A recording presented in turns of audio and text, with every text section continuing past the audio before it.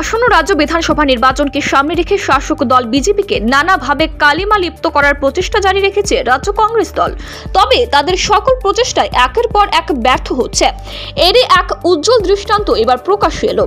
সম্প্রতি আমতলী থানাধীন চারিপাড়া সচিন্দ্রলাল এলাকায় কংগ্রেসের তরফ থেকে এক সভার আয়োজন করা হয়। সেই সভায় কিছু দুষ্কৃতিকারীরা হামলা সংগঠিত করেছিল বলে অভিযোগ। তখন সেখানে এক মহিলাকে প্রচণ্ডভাবে মারধর করা হয়েছিল। ওই মহিলা ঘটনার ভিডিও করেছিল বলে তার বিরুদ্ধে অভিযোগ। এমনকি পুলিশের সামনে তার পেটে লাথি মারা হয় বলে অভিযোগ করেছেন রাজ্যের একাধিক কংগ্রেস নেতৃত্বরাও। রাজ্যের শাসক দলের বিরুদ্ধে এই ঘৃণ্য প্রচেষ্টা সোমবার ফাঁস করলেন ওই মহিলা তথা সুলেখা খাতুনের বাবা তহিদ মিয়া। এ বিষয়ে তিনি অভিযোগ করে বলেন, একটি পারিবারিক বিষয়কে কেন্দ্র করে কংগ্রেসের একাংশ গোষ্ঠী অপপ্রচার চালিয়ে যাচ্ছে, রাজ্য সরকারের বিরুদ্ধে এই ঘটনাটি সম্পূর্ণ মিথ্যা।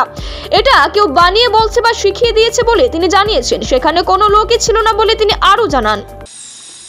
ইমরান কাশেম এই তারা নাম দিয়েছেন এই ইতান করছে, যে তারা মারছে, এটা সম্পূর্ণ এটা মিথ্যা। পুরোটা ফলস কথা।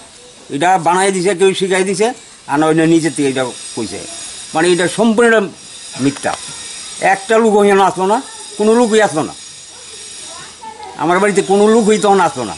শুধু আমি, আমার মেয়ে আর আমার পরিবার।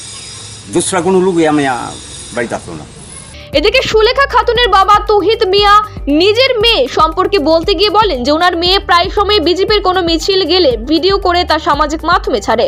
তা নিয়ে তিনি মেয়েকে শাসন করে, এমনকি মেয়ের কাছ থেকে মোবাইলটি নিয়ে যেতে চেষ্টা করেন। তখন মা ও মেয়ে ধস্তাধস্তি করতে গিয়ে মেয়ে পড়ে গিয়ে ব্যথা পায়। সেখানে বিজেপির কেউ ছিল না বলে তিনি জানিয়েছেন। একটা মায়া এই ধরনের ইতান করতো কি মোবাইল দিয়ে? আমি বাড়ি ঘরে থাকি না। এইটুই আমি কইয়া বুঝাইয়ার চেষ্টা করছি যে না পারি না। এরপরে কইছি, মোবাইলটা দে। এই মোবাইলটা দেয় না দিকে আমি ফার্স্ট হারছি কইরা, আমি মোবাইলটা উঠাইতে লইতে গিয়া সেটা তারা মাঝে দশ দশটি করে পুইরা গায়ে একটু ব্যথা পাইছে এইটুকুই।